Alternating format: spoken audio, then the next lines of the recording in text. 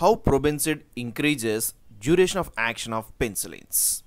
Penicillins are having the well-known structure like this and one of the important point in the penicillins is that they're having a carboxylic acid group. So this carboxylic acid group is an acidic group. This acidic group makes the penicillins polar in nature. Now the drugs in this category include like penicillin G, penicillin V, amoxicillin, ampicillin and so many drugs are there which are classified as the penicillins. Now let us see the probenecid.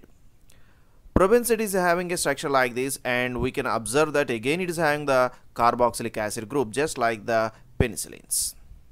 And apart from this carboxylic acid group, it is also having a sulfonamide moiety which is attached to the benzene ring. So probenecid is a benzene sulfonamide derivative. Now, because the penicillin as well as probenecid both are having a carboxylic acid moiety, they may interact at one point of uh, pharmacokinetics where they show some drug interaction. Let us see the fate of penicillins. So penicillins when they are going to be administered into the body, they can be converted into its metabolite penicilloic acid which is the major metabolite of the penicillins. On the other hand, penicillins may not be metabolized and they are going to be excreted unchanged in the urine. Now the metabolite of the penicillin that is the penicilloic acid can be conjugated and then excreted in the urine whereas penicillin which is unchanged is going to be secreted into the renal tubules by the renal tubular secretion and 75% of the penicillin is going to be excreted unchanged in the urine so renal tubular secretion is the one of the important process in the excretion of the penicillins now probenecid is one of the drug which is going to inhibit this renal tubular secretion thereby it inhibits the excretion of the penicillins. How probenecid acts? Probenecid is one of the drug which is called as uricosuric acid. That means it is going to increase the uric acid excretion. So probenecid is going to inhibit one of the transporter URAT1 transporter that is a urate transporter which is responsible for the absorption of the uric acid within the renal tubules. This URAT1 pump is generally responsible for the uric acid reabsorption. So as the URAT1 pump is going to be inhibited, the uric acid reabsorption is going to be inhibited by probenecid. At the same time, probenecid can also inhibit the other pump, OAT1 pump, organic anion transporter 1 pump. This OAT1 pump is responsible for the organic acid secretion so that organic acids can be secreted into the renal tubules. Now the probenecid can inhibit both URT1 pump as well as the OAT1 pump thereby it inhibits the both uric acid reabsorption as well as the organic acid secretion. So suppose this is the proximal tubular cell and this is the urinary filtrate that is inside of the lumen of the renal tubules and this is the serum. The inner membrane of this renal tubule is called as apical membrane and the outer membrane is called as basolateral membrane. And on the apical membrane, one of the pump present is the URAT1 pump which is responsible for the reabsorption of the uric acid from the urinary filtrate into the serum. And another pump that is present on the basolateral membrane is the OAT1 pump that is the organic anion transporter 1 pump which is responsible for secretion of the organic anions.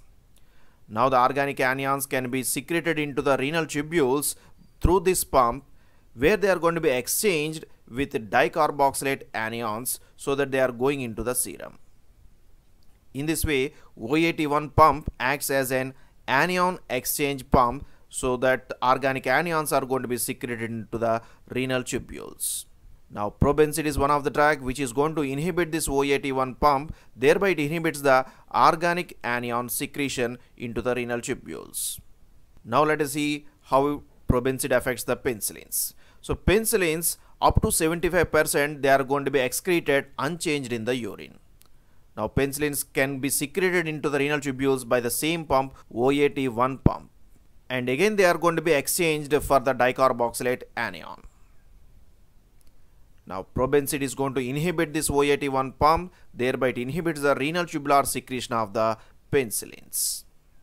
What happens then? Now penicillins are going to be undergoing the renal tubular secretion through the OAT1 pump and after this renal tubular secretion they are going to be excreted into the urine. As we have seen earlier, probenecid is going to inhibit this uh, OAT1 pump it results in the decreased excretion of the penicillins. As penicillins are not excreted, penicillin levels in the plasma are going to increase and few of the amount of the penicillin can be then converted into its metabolite penicilloic acid. So in this way, by increasing the penicillin levels, it may not lead to the toxicity, but the penicillins can reside for a longer period within the plasma. So this results in the increased duration of action of penicillins.